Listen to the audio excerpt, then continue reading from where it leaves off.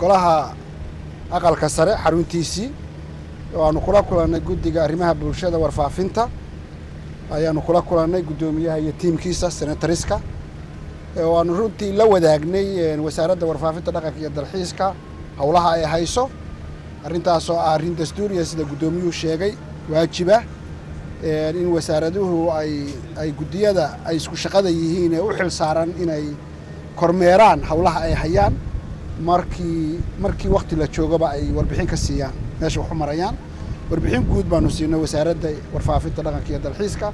Waxyaalaha ka socda caqabadaha jira horumarka jira iyo guud ahaan warbaahinta soomaaliyeed ama dawlad ha lahaato ama dad gaari ha lahaadeen qaabkay u shaqeeyaan iyo sida wacyigelinta bulshada iyo dalku ay u socoto. Iyo waxyaalaha haysta warbaahinta soomaaliyeed ee ama gaarka loo leeyahy ama dawladuhu leeyihiin dawladdu leedahay. Sidoo kale sidaa guddoomiyuu sheegay waxaanu ka wada hadalnay sharciga saxaafadda oo golaha shacabku dhowaan ansixiyey kuna soo socda guddigan iyo aqalka sare ayaanu ka wada hadalnay. Waa shaqa maalmeed ama shaqa bileed noo taalla mar walba inaanu kala war qaadano laakiin guddiga waanu abdhate garaynay meesha wax noo marayaan